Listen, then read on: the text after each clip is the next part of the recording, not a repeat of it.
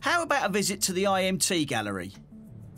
My name is Mark Jackson. I'm the curator here at IMT Gallery in Bethnal Green. IMT Gallery started back in 2005 by a group of uh, curators and gallerists.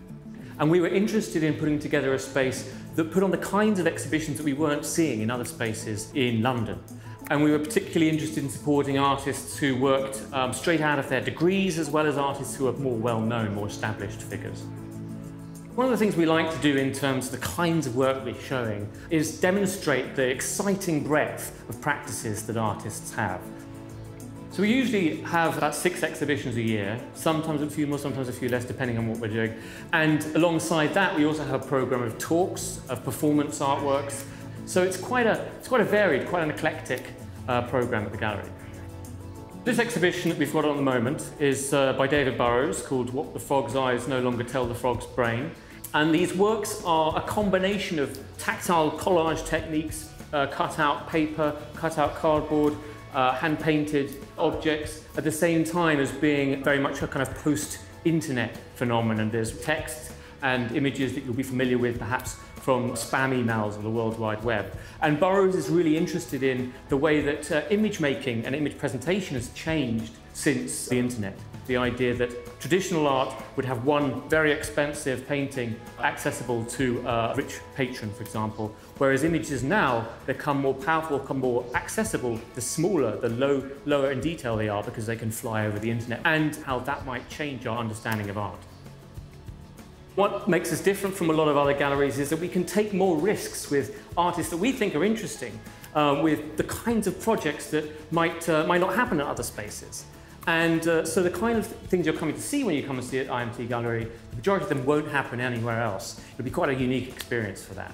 Sometimes the exhibitions we show are quite challenging, intellectually speaking, but uh, hopefully they're also presented in a way that makes them accessible and exciting.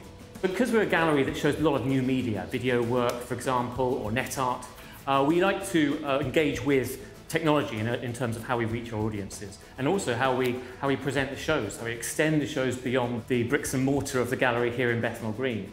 So we're, we're quite an early adopter of uh, Twitter, Instagram, Facebook to reach new audiences and also to get people excited about the gallery who might not have even visited the space.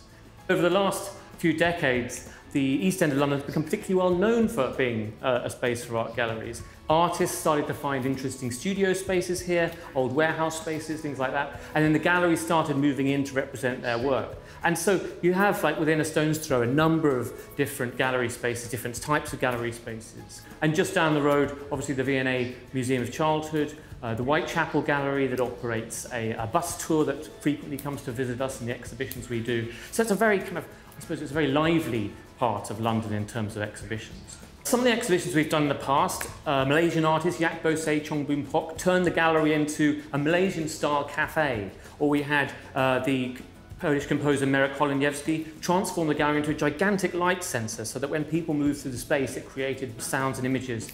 And one of the things that we've really tried to concentrate on is that this is a unique experience. It's a challenging experience, perhaps, for some arts visitors, but hopefully a unique and exciting one. Something where you leave the gallery knowing that your uh, interest in contemporary art has broadened, that the ideas presented have perhaps challenged you in some way, but mainly that it can be an accessible and exciting uh, experience for all who visit the gallery.